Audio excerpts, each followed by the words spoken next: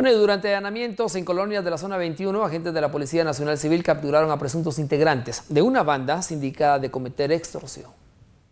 Agentes de la Policía Nacional Civil y fiscales del Ministerio Público realizaron allanamientos en las colonias Vázquez y Monte Los Olivos, zona 21, donde se capturó a cinco integrantes de una banda de presuntos delincuentes que extorsionaban a los pilotos de buses extraurbanos que se conducen hacia Chiquimula y Santa Rosa. Se hace la aprehensión con orden judicial después de esta investigación de cinco personas y dos más que estaban dirigiendo las extorsiones a transportistas del área del oriente eh, y nororiente y parte central del país en el tema de las extorsiones.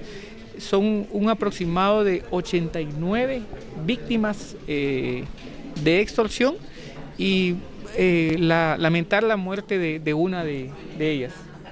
Según el viceministro de Seguridad Ricardo Guzmán, los detenidos forman parte de una clica de la Mara 18.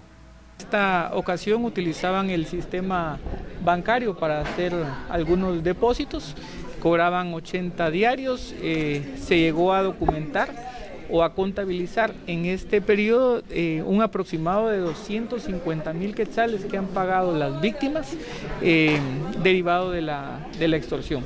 Estamos hablando de una clica del barrio 18. Los presuntos líderes de esta estructura criminal se encuentran en prisión. Fueron identificados como Gerson Alexander Osorio, alias El Quechu, y Juan Pablo Hernández, alias Caritas. Para TN23, Denis Zacarías y Julio Hernández.